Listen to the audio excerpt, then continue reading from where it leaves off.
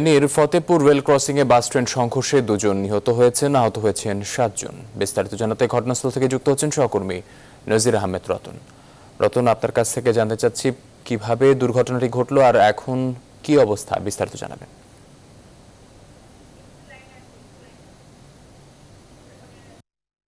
মর্মান্তিক দুর্ঘটনায় ভোরবেলায় ঘটে গেল ফেনীর ফতেপুর রেল ক্রসিং, ওভারপাসের পাশে। আপনাকে জানিয়ে, আপনাকে আমি একটু দেখানোর চেষ্টা করছি দুর্ঘটনা কবলিত সেই বাসটি যেটি রাজশাহী চাপাই নবাবগঞ্জ থেকে ছেড়ে আসে, চট্টগ্রাম উদ্দেশ্যে যাত্রা করছিল। এবং এখানে আসলে এই ফতেপুরে ওভারপাস থাকা সত্ত্বেও এই বাসটি আসলে ওভারপাসকে উপর দিয়ে না গিয়ে সেই রেল ক্রসিং দিয়ে যাওয়ার চেষ্টা করছিল। আর তখনই আসলে ভোর সাড়ে পাঁচটার দিকেই এবং ট্রেনটি এবং বাসের মুখোমুখি সংঘর্ষ হয়।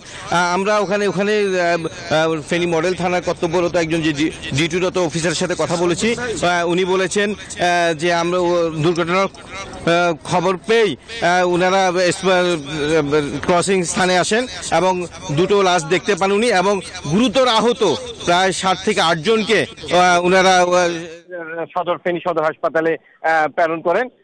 আমরা এই এর মধ্যে ফায়ার সার্ভিস উদ্ধার উদ্ধার কাজে যারা ছিলেন, ফায়ার সার্ভিসের সদস্যদের সাথে কথা বলেছি।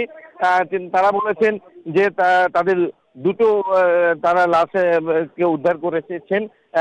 লাশ দুটো এখনই, এখনও সেই দুর্ঘটনার কবরস্থানে রয়েছেন। এবং তারা আরও আশঙ্কাজনক বেশ কয়েকজনকে তারা ফেনী সদর হাসপাতালে পাঠিয়েছেন। এখানে দুঃখজনক যে আমি এই বাসে যে যে কয়েকজন যাত্রীর সাথে কথা বলা কথা বলার চেষ্টা করেছি তারা বলেছেন যে আসলে বাসটি খুব প্রথমে এই- এই ক্রসিং আসার আগে কুমিল্লা হোটেলে যাত্রা বিরতি করে এবং ওখান থেকে আসার সময়ই সেই খুব বেপরা গতিতে গাড়িটি চালাচ্ছিল।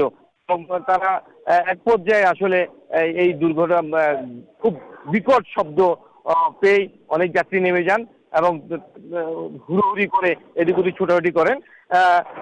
এবং তারা বলেছেন যে আসলে যাত্রী বাসটি এই ওভারপাসের উপর দিয়ে না গিয়ে না গিয়ে এই যে সেই ওভারপাসের নিচ দিয়ে যাওয়ার কারণে এই দুর্ঘটনা ঘটে। আমি এখন কথা বলার চেষ্টা করছি এখানে কর্তব্যরত একজন পুলিশ অফিসারের সাথে। জি ভাই, আপনি ভাই, আপনি কি দেখেছেন আসলে এই দুর্ঘটনার খবর? রেলের মাধ্যমে সংবাদ পাই যে ফতেপুর রেল স্টেশন ওভারব্রিজের নিচে বাস এবং ট্রেন সংঘর্ষ হয়েছে, মুখোমুখি সংঘর্ষ সংঘর্ষ হওয়ার পরে পরবর্তীতে আমি ঘটনাস্থল দ্রুত সঙ্গী ফোর্স আসি। আসার পরে দেখতে পাই যে গাড়ি গাড়ির নিচে চার পাঁচজন লাশ এবং রেলের, রেল লাইনের উপরে দুইটা লাশ পরে আছে। পরবর্তীতে আমরা সঙ্গী সহ এবং ফায়ার সার্ভিস এই ফায়ার সার্ভিস রেলওয়েকে খবর দিই তাৎক্ষণিক হাসপাতালে লাশ যেগুলো মুমূর্ষ অবস্থা তাদেরকে প্রেরণ করে লাশগুলো ইনকোয়েস্ট করার জন্য রাখা হয়। পরবর্তীতে রেখার আমাদের পুলিশের রেখারকে খবর দিয়ে গাড়ির নিচ থেকে আরও চার পাঁচজনকে উদ্ধার করে হাসপাতালে প্রেরণ করা হয়। যথাসম্ভব ওয়ারলেস সাইডের মাধ্যমে জানতে পারি হাসপাতালে আপনি আপনারা কতজনকে হাসপাতালে প্রেরণ করেছেন দশ থেকে বারো জন অনুমান। দশ থেকে বারো জন।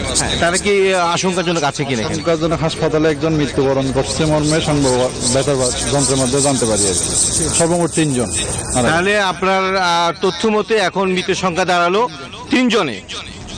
জি আকাশ আমরা পুলিশ কর্মকর্তার সাথে এখন যে মুমূর্ষ কয়েকজনকে তারা পাঠিয়েছেন তার মধ্যে একজন ইতিমধ্যে মৃত্যুবরণ মারা গেছেন। আহ, তাহলে মৃত্যুর সংখ্যা গিয়ে দাঁড়াল আহ, তিনজন। যে আমি এখন ফায়ার সার্ভিসের ফেনী স্টেশনের কর্মকর্তা সাথে কথা বলার চেষ্টা করব।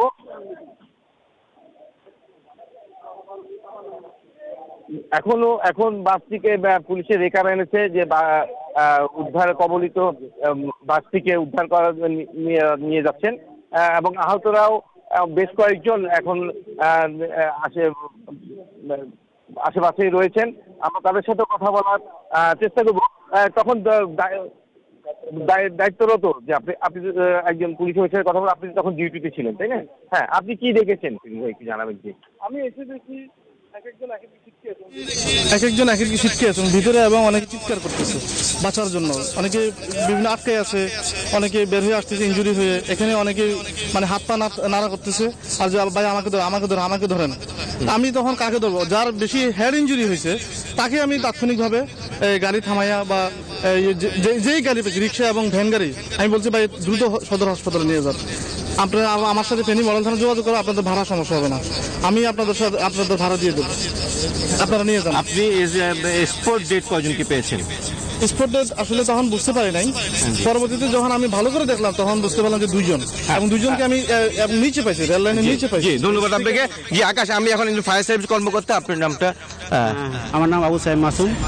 জি ফেনী স্টেশনের দায়িত্বে আছে আবু সাহেব মাসুম উনার সাথে কথা বলেছেন। ভাই মাসুম ভাই আপনি কি দেখেছেন কখন এসেছেন দুর্ঘটনাস্থলে? আমরা আসলে পাঁচটা পঞ্চান্ন মিনিটের সংবাদ পেয়ে খুব দ্রুতই ঘটনাস্থলে আসি। এসে আমরা দেখতে পাই যে রেলের সাথে সংঘর্ষ হয়ে বাসটা সাইডে পড়ে আছে। এবং বাসের নিচে একজন এবং বাসের ভিতরে সিটের মধ্যে নিচে আরও দুজন চাপা পড়ে হাত পা নাড়তেছে। তো আমরা তাদেরকে খুব দ্রুত দু তিন মিনিটের মধ্যেই তাদেরকে উদ্ধার করতে সক্ষম হই এবং আমাদের গাড়ি দিয়ে তাদেরকে সদর হাসপাতালে প্রেরণ করি। আপনারা কতজনকে হাসপাতালে পাঠিয়েছেন? আমরা তিনজনকে হাসপাতালে পাঠিয়েছি আর দুইজন মৃত অবস্থায় পেয়েছি এই দুজনকে আমরা রেলওয়ে থানার এসআই সাবডিভিশনের হস্তান্তর করেছি। তারা আমরা বাসে ছিল না কি বাস থেকে দূরে রেল লাইনের মধ্যে পড়া ছিল। ছিটকে পড়েছিল তাদের থেকে যাত্রী কি কত রেলের কি অবস্থা আপনি দেখেছেন? ট্রেনটি কি আপনারা পেয়েছিলেন? ট্রেনকে আমরা পাইনি। ট্রেনকে আমরা ঘটনাস্থলে পাইনি আর টোটাল কতজন যাত্রী ছিল কতজন আহত সেই বিষয়ে আমরা আমরা বিস্তারিত জানতে পারিনি কিন্তু আমরা কতজন উদ্ধার করি সেই বিষয়টা জানতে পারছি আর। আমরা বলতে পারি আর কি। নিহত সংখ্যা কি এখন বেড়েছে কিনা? আপনি কি জানতে আমাদের লোকজন হাসপাতালে রুগী নিয়ে যখন গেছে তখন তারা ওখান থেকে শুনেছে যারা এখান থেকে তারা প্রেরণ করছিল ওখানে নাকি আরও একজন মারা গেছে। হ্যাঁ তাহলে কতজন হলো নিহত সংখ্যা বেড়ে? আমরা দুজনই আমরা মৃত মৃত পাইছি আর একজন আমরা শিউর না কিন্তু যারা হাসপাতাল গেছিল তারা ওখান থেকে শুনে আসছে যে ওখানে নাকি একজন মারা গেছে। এই আর যে উদ্ধার করতে কতক্ষণ সময় লাগতে পারে এটা? আমাদের উদ্ধার কার্যক্রম শেষ। এখন যেটা হচ্ছে বাসটা সরাবে ওটা হাইওয়ে থানা পুলিশ রেখার দিয়ে চেষ্টা করছে। আমাদের উদ্ধার কার্যক্রম মূলত শেষ। আমরা কাজ করার জন্য শুধু দাঁড়িয়ে আমরা অপেক্ষা করতেছি জি ধন্যবাদ আপনাকে। জি আকাশ আমি এখন চেষ্টা করব আসলে এখানে প্রত্যক্ষদর্শীজন যিনি আহ, দুর্ঘটনার সাথে আছে আহ, বাসে তার সাথে কথা বলার জন্য আহ, পুলিশ আসলে খুব ভোরবেলা হওয়াতে আহ, আসলে তেমন ভয়াবহ ক্ষতিকর এবং মানুষের ভিড় জমেনি।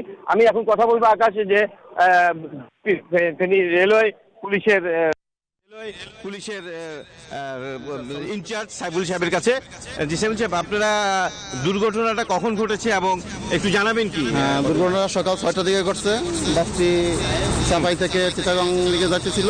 বাসটি যাওয়ার কথা ছিল উপর দিয়ে নিচে কেন আসছে তার দেখা হচ্ছে। আর টু ডাউন ট্রেনের সাথে ধাক্কা খাইছে। আহ, গায়ে ধাক্কা খেয়ে ঘটনাস্থলে দুজন লোক মারা গেছে। এখন কি গাড়ি চলাচল কোনো ট্রেন চলাচল কোনো বাধা হচ্ছে না না ট্রেন আসেনি এখনও ট্রেন চলাচল স্বাভাবিক আছে। ট্রেন চলা স্বাভাবিক আছে জি আকাশ এখনও ট্রেন চলাচল স্বাভাবিক রয়েছে ট্রেন চলাচলে কোনো বাধাগ্রস্ত হয়নি। স্থানীয়রা আমি চেষ্টা করব স্থানীয় কার সাথে আহ, জি আমি একজন স্থানীয় একজনের সাথে কথা বলার চেষ্টা করছি। জি ভাই আপনি এটা কখন আপনি কি, দুর্ঘটনা করছে আপনি কি দেখেছিলেন? তখন আমি ফজরের নামাজ পড়ার পরে দেখতেছি যে মানে ফজর নামাজের সময় একটা আওয়াজ হয়েছে আওয়াজের পরে এবার পরবর্তীতে আমি এদিকে আওয়াজ শুনে আসলাম আসি দেখতেছি যে কি জি আপনাকে ধন্যবাদ। যে আকাশ আমি এতক্ষণ পুলিশ কর্মকর্তা ফায়ার সার্ভিস কর্মকর্তার সাথে কথা বলে যেটা জেনেছি যে মৃতের সংখ্যা দুজন থেকে বেড়ে এখন তিনজনে দাঁড়িয়েছে এবং আশঙ্কাজনক যারা আহত হয়েছেন তাদেরকে ফেনী সদর হাসপাতালে চিকিৎসা চলছে এবং উদ্ধার কাজ দ্রুত তারা চালাচ্ছেন এবং ট্রেন চলাচলও স্বাভাবিক রয়েছে। এই ছিল আমার কাছে ফেনীর ফতেপুর দুর্ঘটনার কবচ থেকে সর্বশেষ তথ্য। আকাশ।